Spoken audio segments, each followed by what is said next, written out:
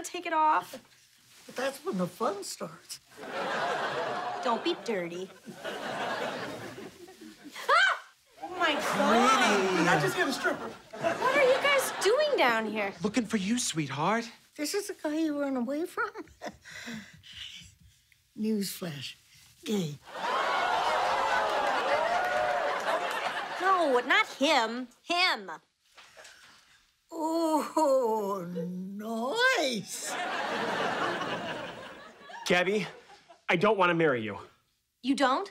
No, Well, then why did you propose to me? I didn't propose. Michael Stein proposed. Who the hell's Michael Stein? The guy whose reservation I stole because I thought you got me a gift, but it turns out it was Alan's gift to Elliot. Can't hear that enough. Wait, so seriously, you don't want to marry me? No. I'll marry you. Gabi, I love the way things are between us right now. I do too. I mean, I don't want to marry you. I don't even know why I'm wearing this ring. Ring. You kept the ring. You kept the ring! Hello, La Lune Jean.